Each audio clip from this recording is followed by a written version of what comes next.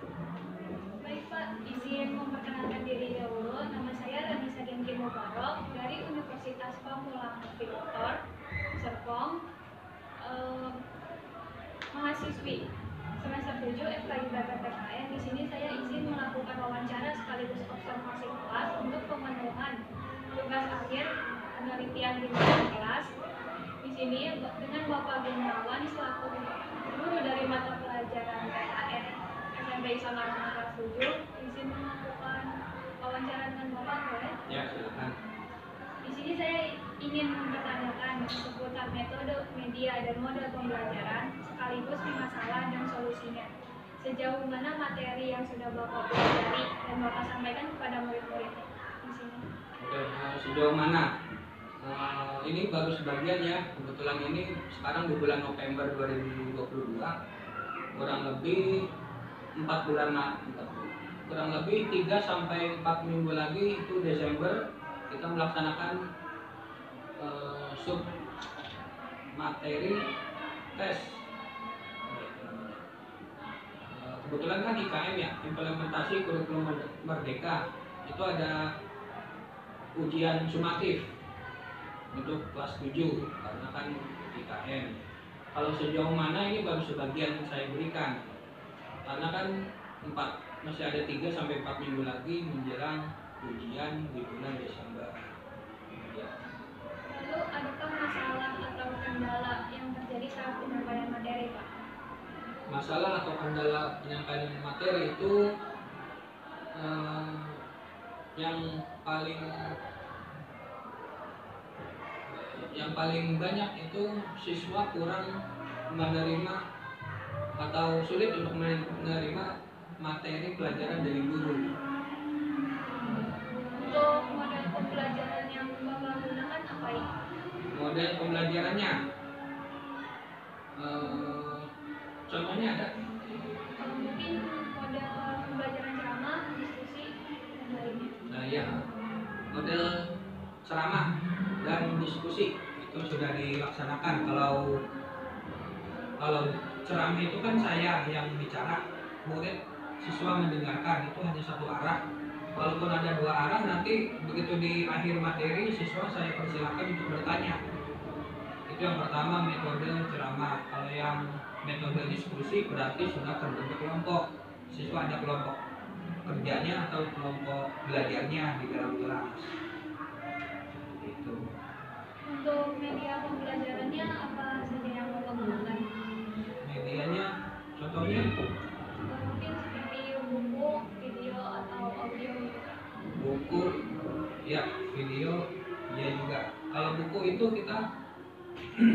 pakai yang dari Kemdikbud ya, buku yang IKM. Kalau siswa nggak punya ya saya suruh download itu ada di webnya, web dari Kemdikbud juga. Terus kalau untuk tambahannya kita pakai LKS. LKS itu sudah kumpulan model-model kecil dari materi satu, materi dua dan seterusnya. Jadi ada modul yang kita beli dari penerbit, kita cocokkan dengan materi yang disampaikan, teman cocok ya sudah. Kita pakainya modul dari penerbit atau LKS.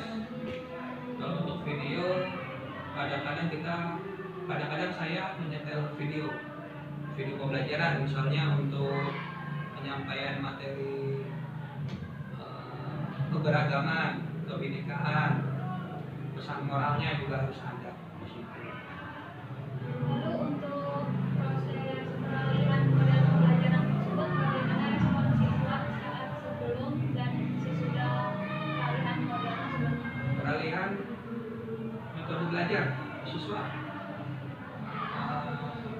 senang, antusias.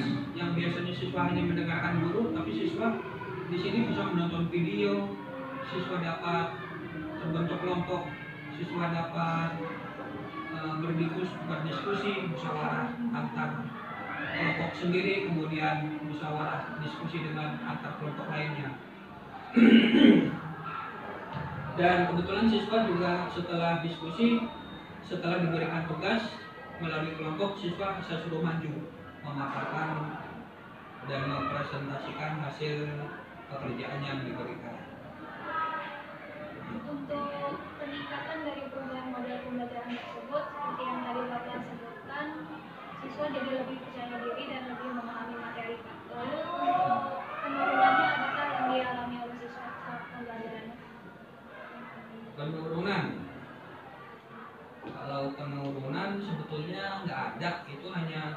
antusiasme siswa aja Eh, jadi siswa lebih bersemangat lebih apa ya lebih menjalin komunikasi antar teman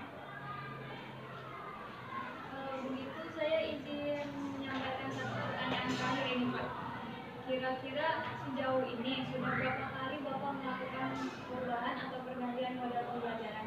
pergantian model pembelajaran sudah berulang kali. Yang pertama itu eh, penyampaian materi saya lakukan dengan model ceramah.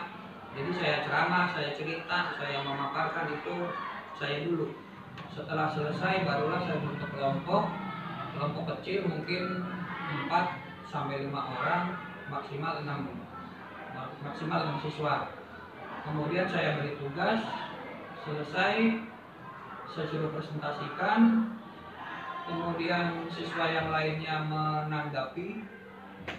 Kemudian tanggapan tersebut didiskusikan kembali. Jadi begitu ada eh, hasil diskusi hasil diskusi tersebut kita diskusikan kembali. Itu dievaluasi nantinya hasilnya apakah sesuai atau enggak yang penting siswa tidak apa ya, tidak vakum siswa ada pendapat sendiri. Yang siswa A pendapatnya apa siswa B pendapatnya apa berbeda-beda tapi kita cari titik persamaannya Baik Pak, terima kasih atas waktunya.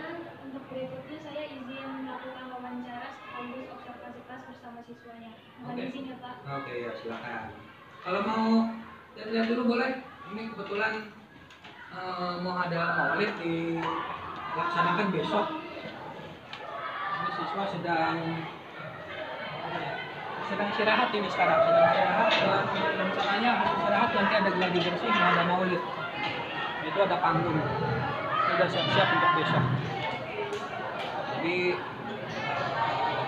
besok itu hari Oke, hari Kamis ya, besok hari Kamis. Udah, seperti itu aja ya. Saya tinggal dulu. Saya mau ada tugas lagi. Baik Pak, terima kasih. Assalamualaikum. Oke.